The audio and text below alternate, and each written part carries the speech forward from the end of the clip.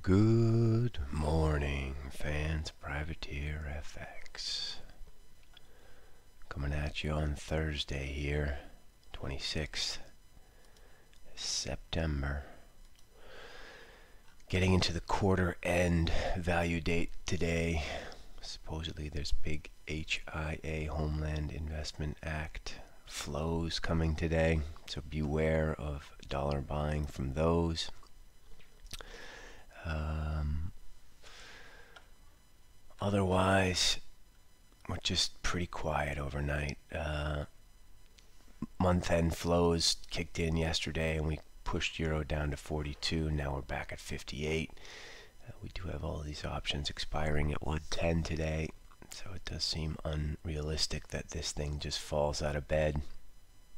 The big question is, is how big um, will these quarter end flows be today.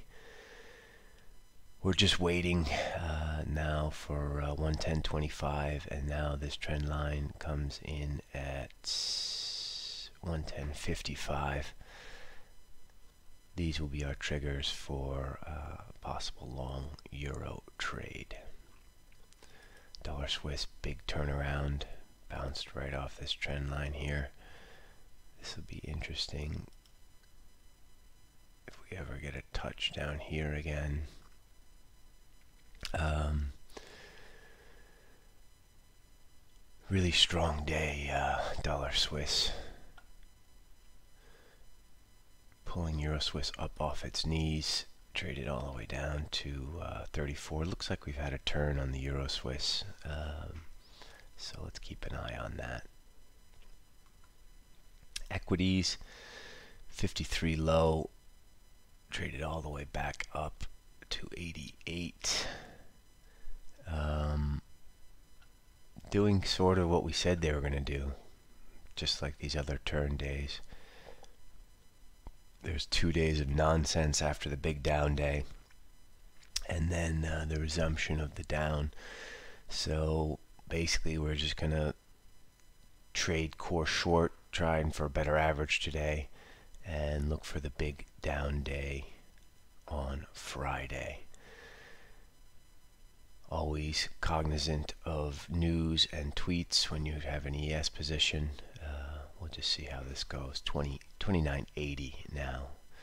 Last night traded as high as actually 91. How ridiculous is that? Uh, but doing what we asked it to do, so let's see. Let's see if it continues.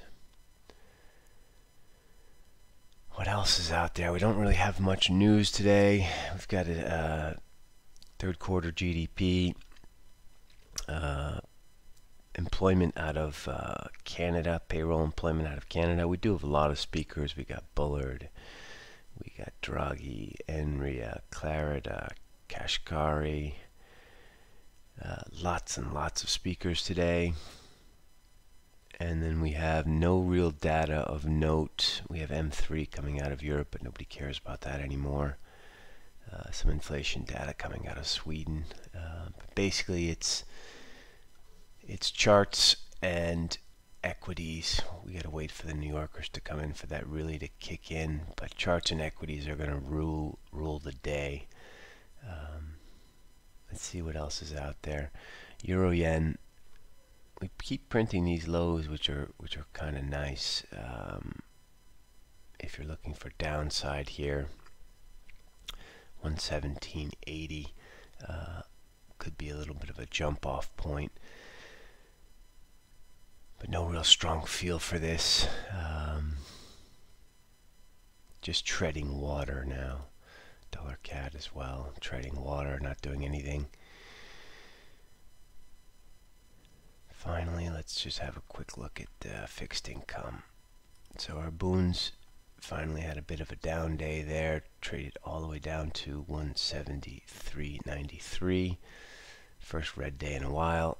Um, we like this, obviously.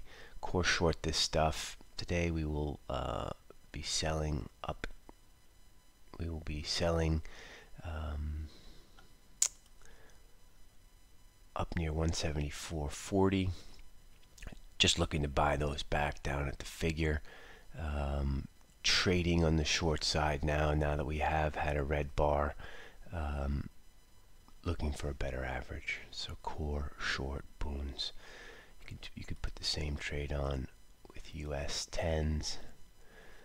First down, first down day in a while, and uh, core short tens, kind of the same trade.